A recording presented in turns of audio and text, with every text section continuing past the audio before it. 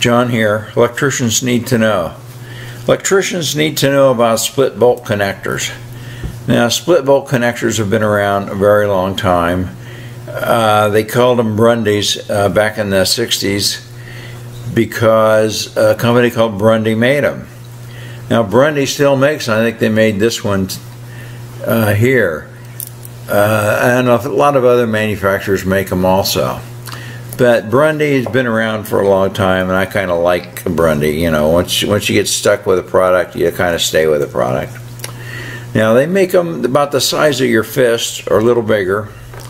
Uh, over the years, I've troubleshot a few and found that they disintegrated, uh, probably because they weren't put together really good in the first place.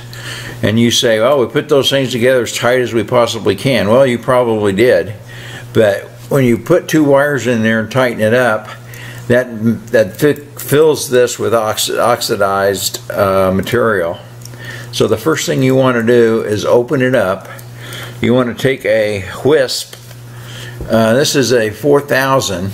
It may be a 2.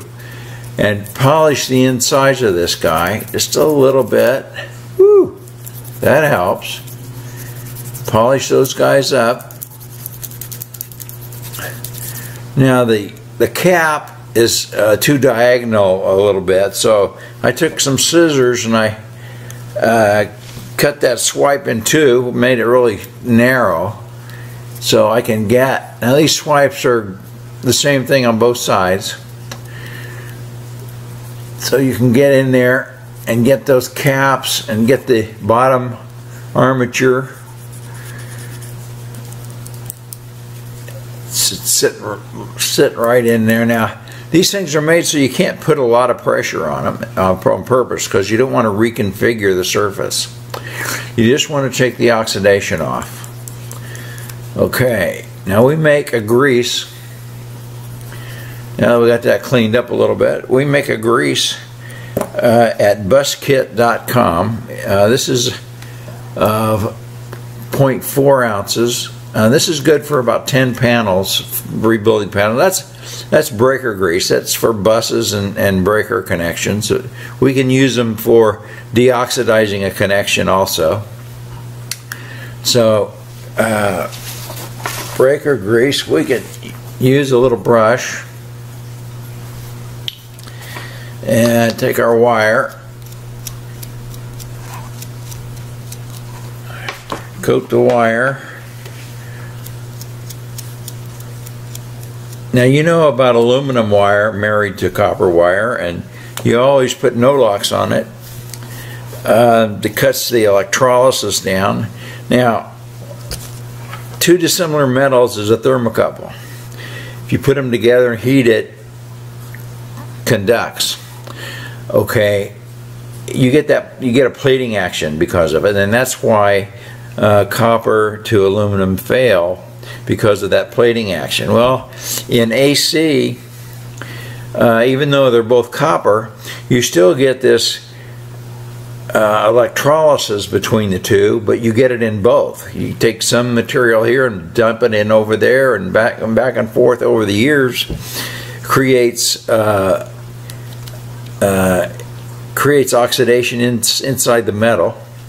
It it makes hard spots. It makes non-conductive spots it, it gives the connection uh, a problem.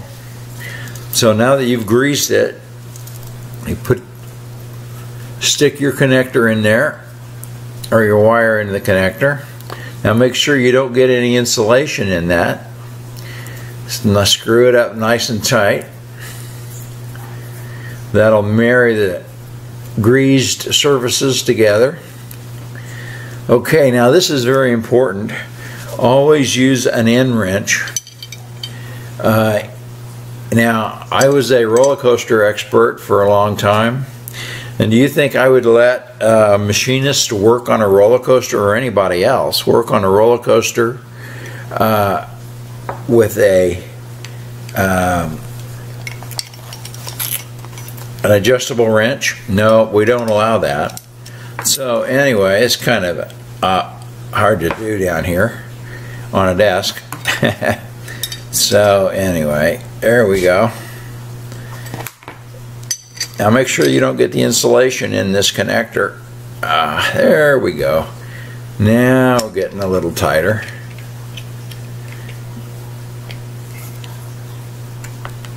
Okay, now on a maintenance bench or something or out in the field you can kind of get them a little rougher. You can get them tight. Okay, so there's our connection. We've got it pretty solid. We squeeze the grease in there which takes out the oxygen in there. And now all we need to do is uh, lock it down. Uh, and I didn't from this from this vantage point. It's a little difficult to do. So now we need to take 33, Scotch 33, and tape this connection. Then we need to take Scotch 130C and tape it over the 33 with the 130C. That kind of waterproofs it and gives it a little cushion uh, so you can bang it around a little bit. So after you get the 130C on it, then you go back over it with 130 or with 33 uh, again, and that uh, gives you a really good cushion in case this is banging around inside a motor or someplace. So anyway, that's the way we put a split bolt connector together. We take the oxygen out of it, we squeeze it down with end wrenches, and uh, hopefully this will last forever. Um, let's hope. So, and okay, uh, we make uh, the swipes, and we have a few bus kits and a few other products, grease, things that you might need at uh, buskit.com or Shook Electric. They both go to the same location. Uh, well, thanks for watching. Leave me a comment, or if you have any questions, uh, leave me a question or two and we'll get back to you. We'll uh, answer them online. Thanks. Bye.